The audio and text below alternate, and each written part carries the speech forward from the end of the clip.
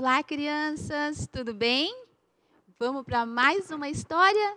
Uma história verdadeira? Uma história que traz transformação? Uma história que traz cura? É muito legal, né? Essa história está aqui, ó, na Bíblia Sagrada, em 2 Reis 6, 8. Hoje eu vou contar para vocês, mas vocês leem aí em casa com o papai e com a mamãe, tá bom?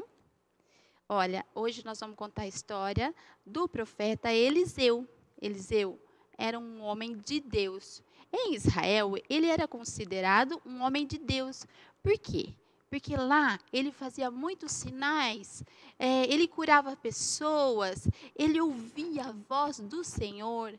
Era muito legal, gente. Olha, o exército de Israel reconhecia ele. Certo dia, o o povo da Síria, o rei da Síria, quis pegar Israel e falou: Eu vou destruir esse povo. E eles estavam tudo lá tramando. Só que eles não sabiam, crianças, que Deus estava naquele lugar, que o poder de Deus se manifestava naquele lugar. Então, o Senhor avisava Eliseu. Ele avisava o Eliseu aonde ia estar, eles iriam estar para pegar o povo de Israel. Ah, sabe o que aconteceu? Eles, toda vez que eles tentavam pegar Israel, eles não conseguiam. Porque o Senhor sempre avisava Eliseu, e Eliseu ia até o rei e falava para ele: não passe naquele lugar, porque lá tem um monte de gente que estão querendo pegar vocês. E o rei obedecia. Aí, sabe o que aconteceu, crianças? Quando o rei começou a perceber que não dava certo nenhuma estratégia. Porque quando eles faziam estratégia, né, crianças, era no secreto. E como que eles poderiam estar tá ouvindo no secreto? Então o rei de, da Síria falou assim: Olha, algum de vocês aqui estão falando lá para Israel o que nós estamos fazendo. Ah, aí um deles, um, um dos soldados dele, se levantou e disse: Ó oh, meu Senhor, não, nós não estamos falando não. É que lá em Israel tem um homem que chama Eliseu. Eliseu? É. E o que, que ele tem a ver com isso? Ah, ele, tudo que nós falamos aqui no nosso secreto, o Deus dele revela tudo para ele. Eles ficaram intrigados. O rei falou assim: então tá bom. Então veja onde ele está e vamos pegar esse Eliseu. Agora não era mais o exército, era o Eliseu. Vocês entendem, criança? Só que pensa um pouquinho. Se o Senhor já revelava para ele a estratégia de, da Síria contra Israel, você imagina agora contra o próprio Eliseu. Ah, aí o povo, o, o pessoal lá, os soldados cercaram. Foram de, à noite, Eliseu estava dormindo junto com Geazi, o seu aprendiz, aí eles foram cercados. Todos os seus soldados foram lá para pegar Eliseu. Todos, olha. De repente, pela manhã, o seu aprendiz acordou. Ah, meu Deus! Olha! Ai, pegou e correu chamar Eliseu. Eliseu, Eliseu, acorda! Nós estamos sendo cercados. Ah, Eliseu, muito sossegado, que ouvia a voz do Senhor, acredito que ele já sentia a paz e a presença do Senhor naquela hora, disse para ele: Não temas, maior é o que está conosco de quem, quem está no mundo.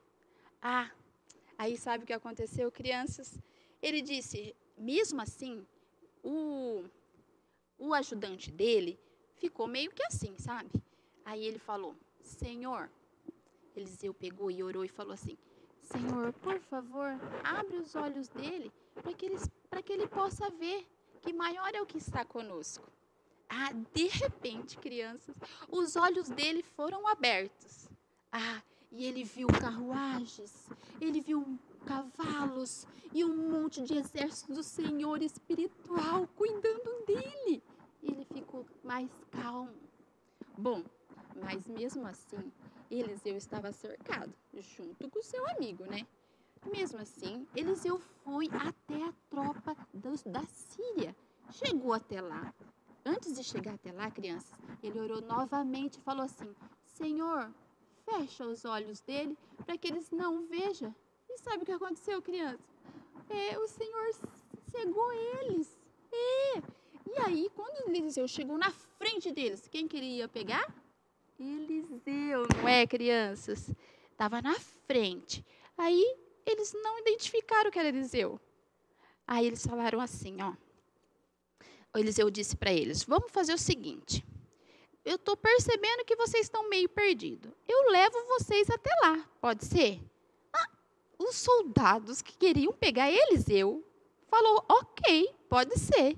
E eles seguiram Eliseu. Eliseu, muito do esperto, levou toda essa tropa para onde, crianças? Na presença do rei de Israel, junto com seus soldados. Todos eles foram e não questionaram.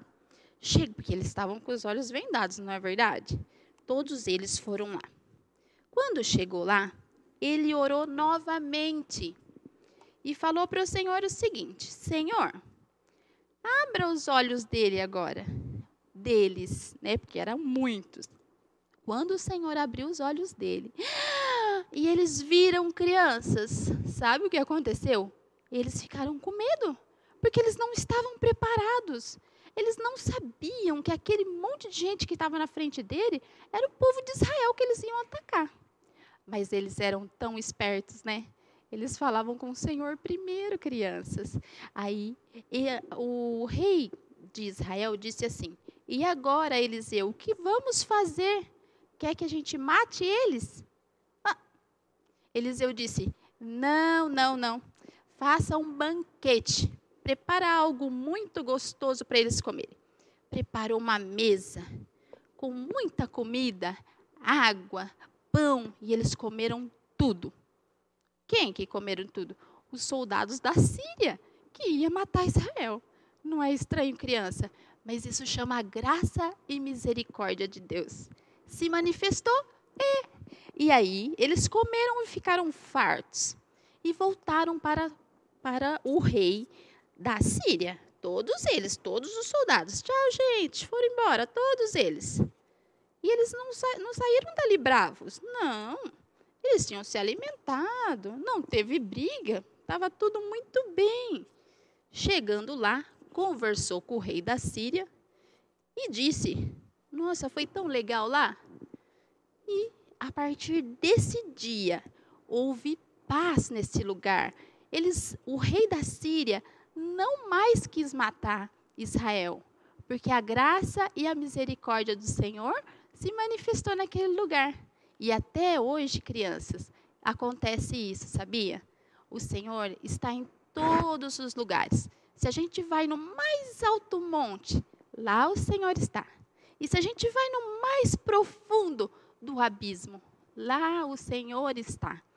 O povo de, da Síria não conhecia o Senhor, mas o Senhor estava lá, de olho, para cuidar do seu povo. Então nós não precisamos temer.